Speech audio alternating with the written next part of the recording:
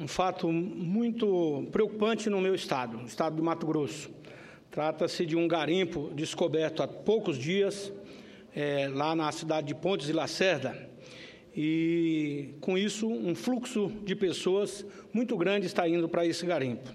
E hoje nós tivemos aqui a presença do prefeito Donizete Barbosa, que veio nos trazer essa preocupação, aliás, com audiência já marcada, é, juntamente com o deputado Valtenir Pereira, é, o deputado Valtenir Pereira, deputado federal do meu estado, e também o deputado Wagner Ramos, que é o deputado estadual do nosso partido, que nos ligava é, em nome de toda a Assembleia Legislativa do Mato Grosso, transmitindo esta preocupação.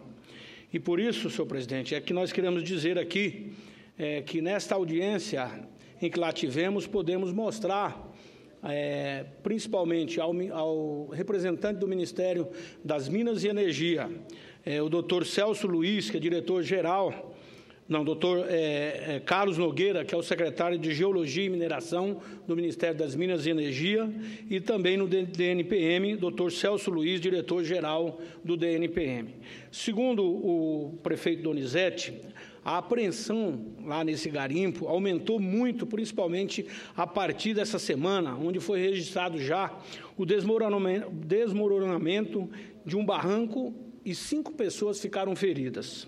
Dentre os problemas criados no município está a falta de água, a comida, porque as pessoas estão indo e com um fluxo muito grande de todo o estado, da região centro-oeste e também do Brasil, porque começou a se dizer que o que está ali fácil de, de, buscar o ouro e com a crise, o desemprego aumentando, então as pessoas estão buscando a facilidade de ganhar o seu dinheiro.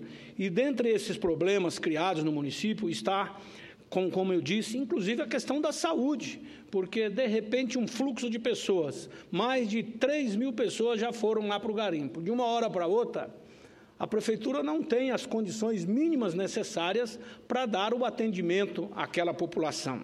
E segundo o prefeito, a tendência é que a situação está ficando incontrolável. E caso a retirada dos garimpeiros ocorra de forma arbitrária, aí a preocupação é muito maior. Segundo ele, há uma preocupação assim muito grande, inclusive, é, como já foi anunciado, o Ministério Público já pediu a intervenção é, que isso não seja feito de uma forma organizada e aí pode virar um caos total, inclusive com a matança, que é muito comum nessas questões garimpeiras. Como disse o prefeito, infelizmente, esta é uma tragédia anunciada. Na ânsia de encontrar o ouro, os garimpeiros estão escavando o local sem se preocupar com nenhuma medida de segurança. O acidente que aconteceu ontem, infelizmente, não vitimou fatalmente ninguém, mas providências devem ser adotadas para evitar algo pior. Nossa preocupação é com as pessoas, com a segurança delas. A situação dos moradores da cidade está cada dia mais caótica. E segundo o prefeito, o prefeito Donizete, é, o que ele quer com o objetivo é legalizar o trabalho da mineração. É, por isso, é, que ele veio propor para que os, os órgãos, o, tanto o Ministério das Minas e Energias como o DNPM, estude a forma de viabilização de legalizar a exploração do garimpo, que se chama Serra do Caldeirão, ou garimpo da Serra é, de Pontes de Lacerda, Serra Lacerda, por meio de uma cooperativa que lá já existe, a fim de que essas escavações sejam feitas de forma ordenada, dentro das medidas legais e preservando o meio ambiente, já que a jazida se encontra dentro de uma área de preservação permanente, ou seja, uma APP. Ainda muito mais preocupante, porque, claro, se é uma APP, ela tem que ter toda a vigilância dos órgãos eh, de preservação ambiental. Segundo o prefeito, até o momento, na verdade, foram mais de 5 mil garimpeiros profissionais e amadores que se formaram nessa vila improvisada na encosta da Serra. Na última sexta-feira, a Justiça Federal interditou o garimpo, já que não há licença do DNPM para a exploração da área. E nesta manhã, é, tivemos aqui no Ministério das Minas e Energia, como eu já disse lá com o doutor Carlos Nogueira, é, exatamente para expor essa situação. E à tarde tivemos, então, lá no DNPM, acompanhado do prefeito e o deputado Valteni. E lá o que nós pedimos? Exatamente um planejamento para que se envie fiscais para analisar de perto essa situação.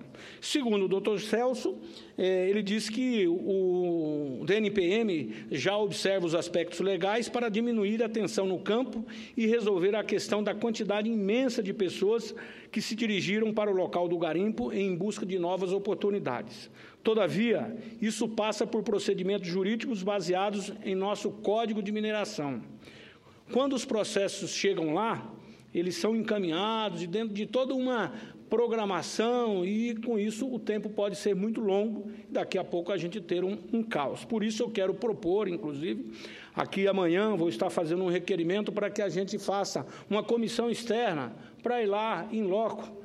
Nossos companheiros aqui, em nome do Senado da República, também, com certeza, em nome da Câmara dos Deputados, que o deputado Valtenir irá, irá propor, para que a gente vá lá em loco, averiguar essa situação, convocando é, de forma mais rápida o Ministério das Minas e Energias, através de um representante do Ministério das Minas e Energia, do DNPM, porque é, lá está se transformando numa segunda Serra Pelada e todos sabem o que foi o caos de Serra Pelada. Né? Não só as mortes, claro, o ouro, e lá tinha ouro, e com certeza em Pontes Lacerda, para se ter uma ideia, senhor presidente, é, uma pessoa, apenas num dia, garimpando, segundo as notícias, tirou dois quilos de ouro.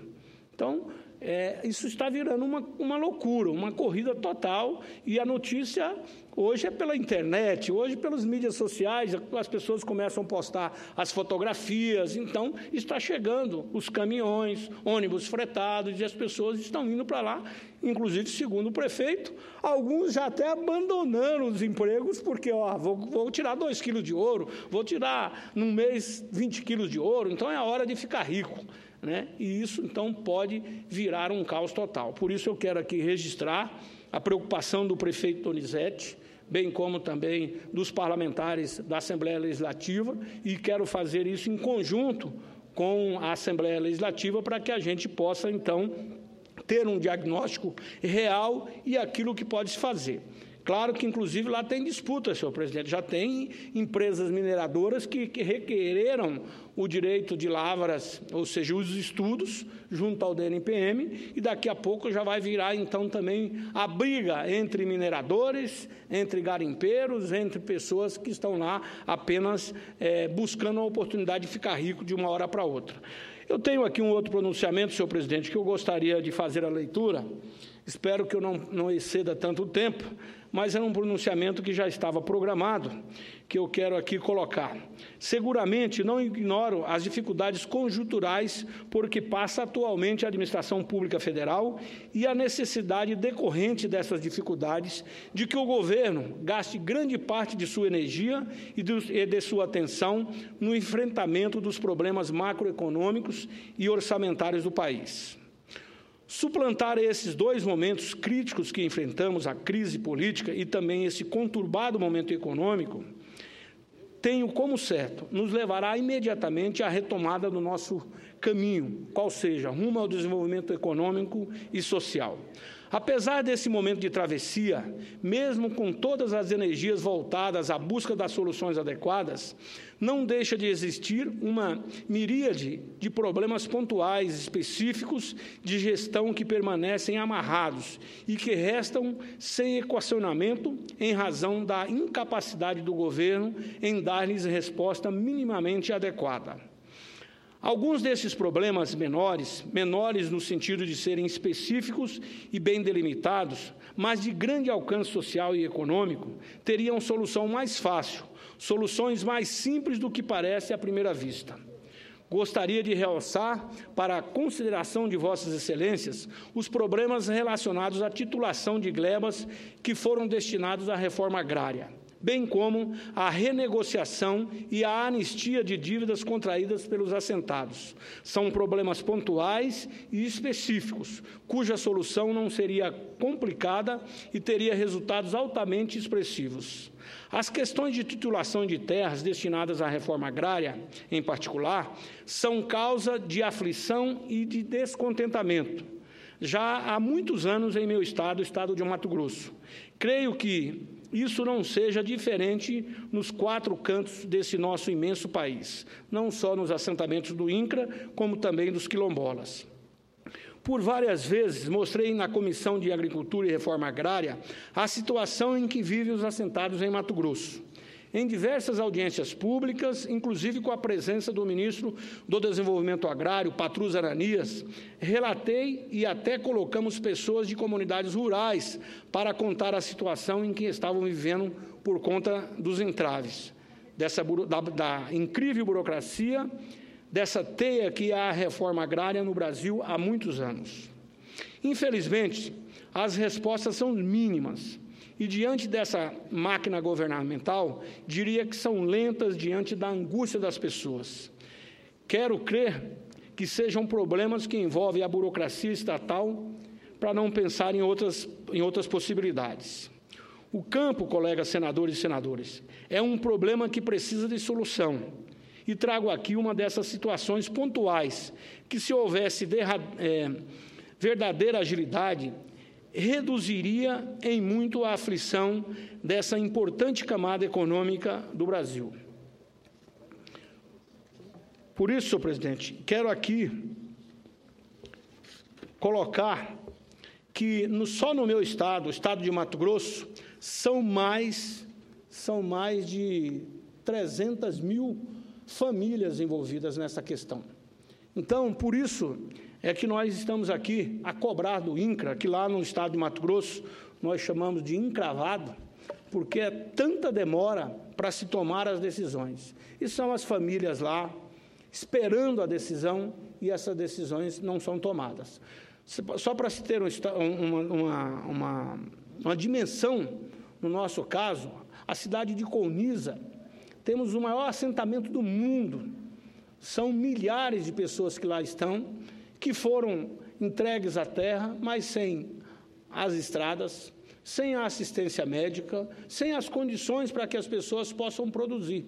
E o que a gente quer? O que nós estamos aqui a cobrar do Ministério do Desenvolvimento Agrário, do, do, do, do INCRA, é que titule as pessoas. As pessoas querem, inclusive, pagar e as pessoas sabem que quem é um assentado do INCRA, ele não foi ali para ter a terra de graça. Ele vai ter que ter, ao longo de 20 anos, pagar a sua terra. E todos estão dispostos, inclusive, a pagar, para que com isso, eles tendo a titularidade, eles possam ter acesso à documentação, possam ter acesso às condições de poder produzir e alavancar não só o desenvolvimento do Brasil, como também das suas famílias, que nesse momento de desemprego muito grande, claro, isso traz uma preocupação muito grande.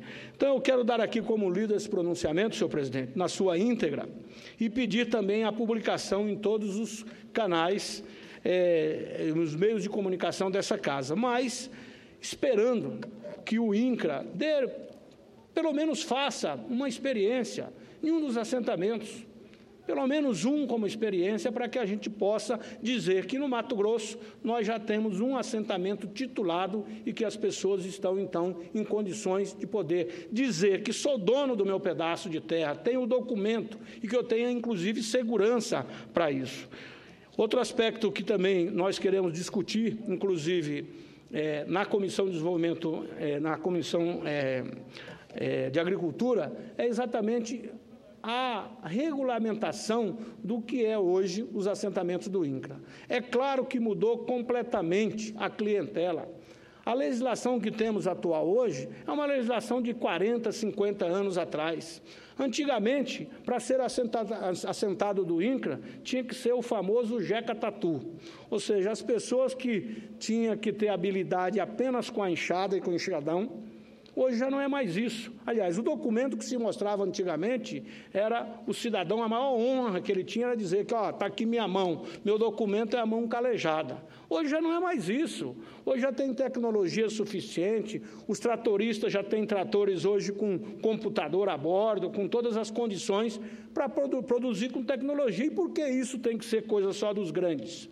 Não, temos que levar a tecnologia, a ciência, a pesquisa, para que os pequenos também possam produzir. E aí, senhor presidente, Vossa Excelência, que é do Estado do Sul, sabe. Né? O Mato Grosso, nós temos um, um são 900 mil quilômetros quadrados. Eu sempre tenho dito e repetido aqui, só a região do Araguaia, que é a nova fronteira agrícola, tem capacidade de produzir tudo que produz o Mato Grosso hoje. E o Mato Grosso tem capacidade de produzir tudo que o Brasil produz.